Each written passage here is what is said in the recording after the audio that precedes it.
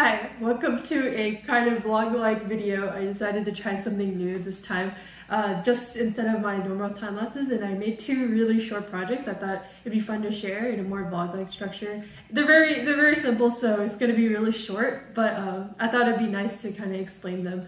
So what I did was make two more abstract wall pieces. So I was inspired by my past project. Um, Mindful, which is the final project I made for one of my classes, computational fabrication. Um, and computational fabrication was a grad class basically. Uh, because it was remote, we did a lot of uh, 3D printing work, and so that class taught me a lot about 3D printing. So I decided to kind of continue with that last piece, or the final piece that I made, which was um, an abstract wall wall piece uh, inspired by David C. Roy. I know I said piece a lot, but basically he makes a lot of abstract sculptures and uh, it's very cool. They're uh, kinetic, kinetic as well. They don't use any electricity. But instead of the kinetic part, I kind of um, made it more about the design. And um, I also really like having like geometric and very organic shapes together. So with these two really short like pieces I made, um, it's basically just showing like there's some rigid, very rigid shape and there's also really organic shape together. They're very simple too, so if, if anyone saw like the 3D models, I think they would be able to put it together really easily. Um, and yeah, so just wanted to show you guys. So if you're wondering what happened to Mindful, when I was moving, um, I didn't have a box big enough to actually uh, hold it, so it actually broke while it was moving. But you know, I was like, it's fine. Um, I'll I'll figure out a way to repurpose it. So this is what happened to the repurposed version.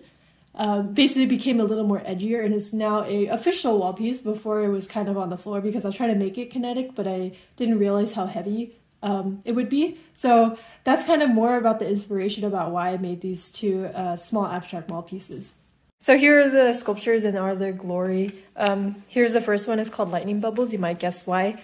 Um, and uh, yeah, and so these are actually all separate pieces together, and I'll go and explain with the 3D model how that works. So the second one is Square Up. Um, they're very, they look very similar, but this one is, uh, yeah, this is the second one I made. So this is the design for lightning bubbles and one thing I was limited by was the size actually because all of these pieces here they're actually their own separate bodies and parts from each other. So uh, I didn't like the way pieces look when you glue them together so I made it made all of these pieces like basically print on the same printer and max the size um, so that's why you see the, the, the artistic piece itself, Lightning Bubble, is kind of limited in size. I actually wanted it to be bigger, but because I didn't want to glue pieces together, I was limited by my printer bed size. Of course, if you're watching this and you want to make it yourself, you can scale it up and then, you know, do the whole gluing piece together. Or if you have a large 3D printer bed, you can always just go up and just scale it up. But yeah, so that's the reason why you see the size there. And so all of these are actually like their own parts. So if we take out the lightning part, you can see there's these little grooves on this ring here that uh, indicate where this lightning piece should go. And so this is the same for the other rings too. So if I like take out um, like this ring, you can see there's like grooves here. This is to fit in the other ring, so I take that one out too. And so the way I put them together was using my favorite hot water method, which is dipping pieces in hot water so that the plastic is soft and then it'd be easier to fit them together. Another way people do uh, fit push fit is just designing a small gap in uh, of spacing between the two parts that you want to fit together, and then uh, having the and then connecting those two pieces once you're done printing. But I feel like the hot water method is kind of you know the more lazy way. It's a little bit better in a sense too, because like you can it will fit together actually more snugly. So um, I use this technique for both this piece and the other piece. So for square up, it's pretty much the same idea here. So these all are their own individual parts. So if I take out the twist, you can also see there's like ridges here as well for that twist part. Um, if I take apart uh, the squares, so this one's a little different here. So this last square is actually free hanging. Um, this is because I placed it so it's in the center of uh, this square here. So the best way for me to like split those two parts together was actually to combine this corner of the square to this square here. So, and then make a little hole in here so that I could fit them in. And I also didn't make them, I made them slightly slanted too so that it'd be uh, easier to fit them in as well. So, um, yeah, and so yeah, again, very similar idea for these other squares. This one was a little bit harder to remember how I put it together. Um, but yeah, that's that's basically how Square Up works.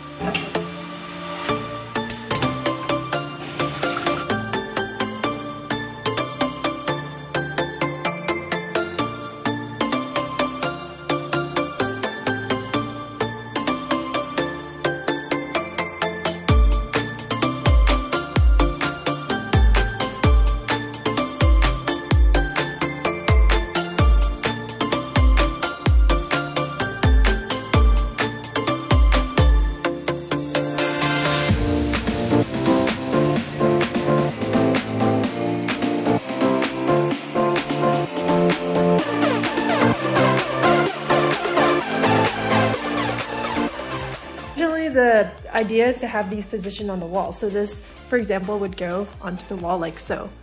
This, but um, I actually had a friend over and he was like, wait, what if, what if you like, you put them up like this?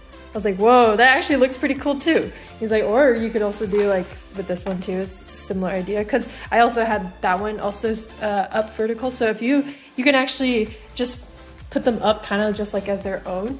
Um, you can also modify them if you want. Um, you can change it if, depending on how you want your balance to work. So like this one can also work too. Um, this one's a little harder to balance because it's circular, but can definitely work as well. So yeah, I thought it was really interesting. So it's not, it's up to you. Like these are supposed to be abstract, like wall art pieces. So if you want to make it um, vertical, if you want to make it horizontal, if you want to make it a different way, just do it. So yeah, that was pretty much it. I hope you enjoyed this little short vlog. Um, I also will upload these models onto Thingiverse, like all my other 3D models, so that anyone can use them. I hope you enjoyed. The, doing these two pieces actually gave me another idea that's actually really a lot more complex. So I'll keep you updated and hopefully I can finish that second one. Uh, but until then, see ya.